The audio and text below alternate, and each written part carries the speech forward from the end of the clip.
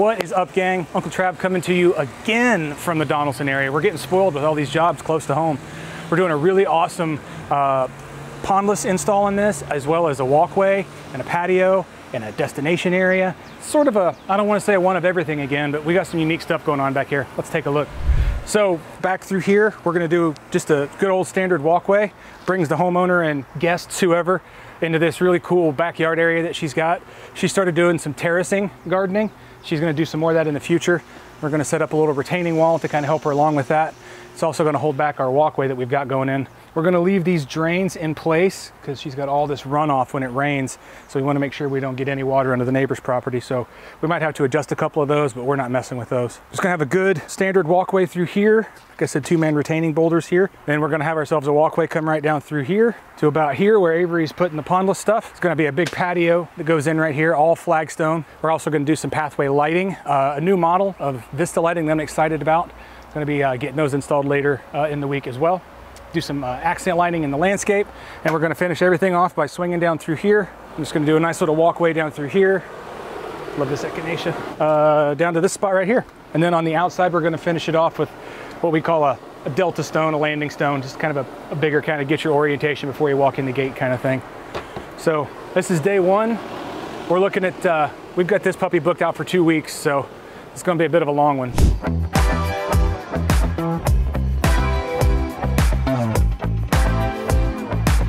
We love where we live, but we have um, a challenge of a backyard.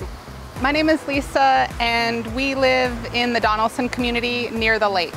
We have a, a giant slope that runs the whole length of the backyard, and we've always had runoff from the slope that just created a lot of mud for us. So putting down a patio will address that for us.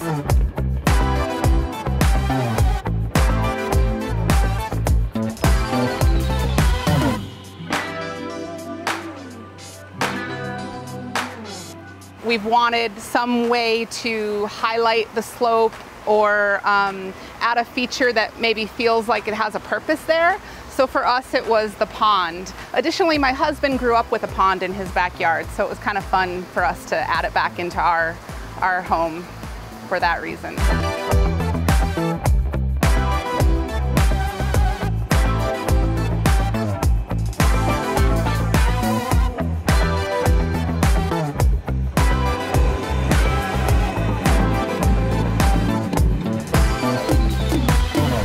Always been a fan of um, JVI Secret Gardens since I've lived here in the Donelson area.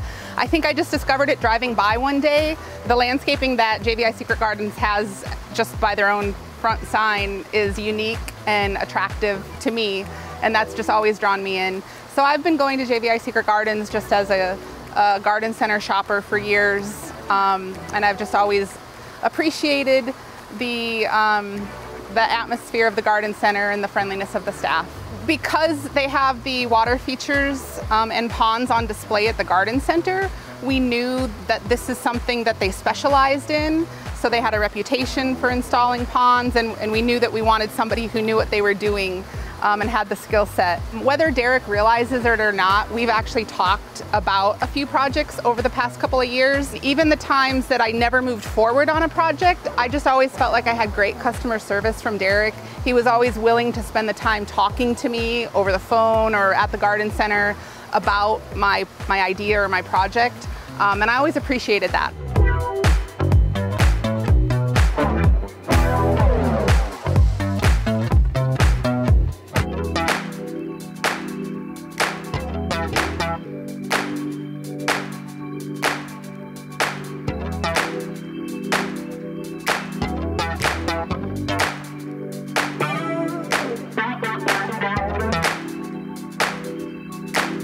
Right, gang, we are all finished up. So let's take a look at what, what all we did here on the job. Starting where we started, uh, the customer asked if we could put a little landing stone outside the exterior gate here. Sure, not a problem. The guys came through, excavated this. We put down our base material and they laid what is a really cool looking mosaic, uh, not tile, but mosaic pattern walkway. I love the striations and the patterns in these stones. What we did, we decided Let's just take some one mans and build a little retaining wall here. What that does is that allows us to use dirt and our base material here to get the grade up here at the very bottom where we need it um, but also allow that runoff to come off the surface of the rocks and also to percolate down through the gravel. It's just gonna run over and through the patio and down into this grate and then it goes out to the street. But let's take a look at this uh, pondless that Avery built and see what's going on there. Avery did an awesome job on this waterfall. I, I love the built-in framer on this weir, this one as well. And he's pitched them in just a little bit and achieved a little choke out of that as well. Awesome waterfall, I love that, simple and elegant. Let's take a look at this patio. Travis and his team working these last couple of weeks has been awesome too. From the beginning, Travis made sure to tell me that if I saw anything that I had questions about or ideas about, um, to, to, speak up and just um, let him know what, um, what we need to discuss. And I appreciated that. I appreciated being able to um, provide suggestions as we went along. We're very pleased with the outcome of it. We've got some more planting and some more work to do that'll really make the space come together as plants grow up larger around the space. Um, but we're really, we're really super excited about the water feature um, and even just the sound that it adds to our, our backyard. It kind of helps drown out the traffic that we live near. So another challenge we had on this one was we had to match the height from where you, the viewer, are seeing me, the presenter. This had to come up, no, I'm sorry, this had to come down, that had to come up, but we also had to hold this hill back. Um, so we literally just shaved this down to where we needed it to meet this elevation behind me, and over there where you're standing. We just brought in some two mans, carved out a, a little section all the way up, as you can see, um, set our stones there, backfilled it, we're good to go there. Had to do the same thing here. So it's kind of a, like a sunken in patio. It's kind of groovy in that way. I really like how this turned out. The other cool thing was this transition of these steps. We had enough elevation change for two steps here, uh, and then we had a, a flat spot here and we were gonna have to do another step here, but the homeowner didn't necessarily want another step. So we were kind of, we didn't know what to do. So we had the step here.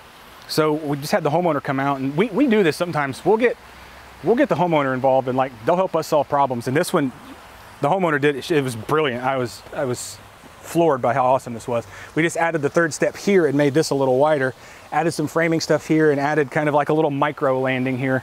It wasn't on the plan, but you know, we have to deal with the elevation. So this is probably my favorite part of this project is how this was like a collaboration and, you know, uh, people meeting of minds kind of thing.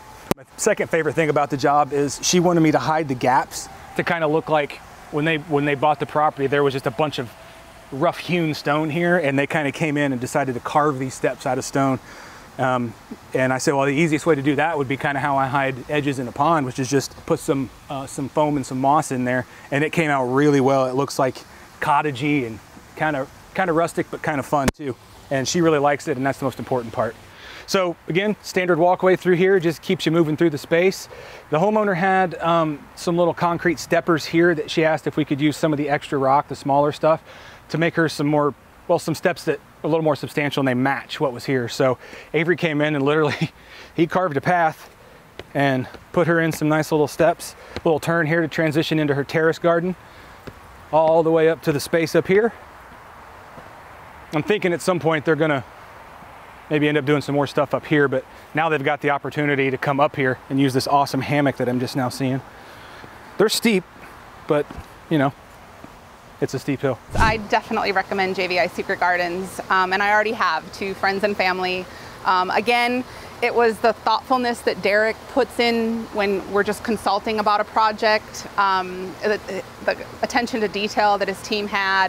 Um, and then I've just always appreciated the garden center. It's a, it's a relatively small garden center, but I've always loved the selection that they have of their different plants um, and just the, uh, the great friendly staff that always welcomes you in. There you have it, patio, walkway, pondless. Um, we've got some retaining walls going on here. We've got some boulder work. There's some landscape lighting, but you can't really see that because it's daytime. But what you can do in the meantime, like, follow, share, subscribe, leave us a comment in the comment section. What was your favorite part of this project? And more importantly, where would you like to see it in your yard? Uncle Trav, and I'll see you next time. Cheers.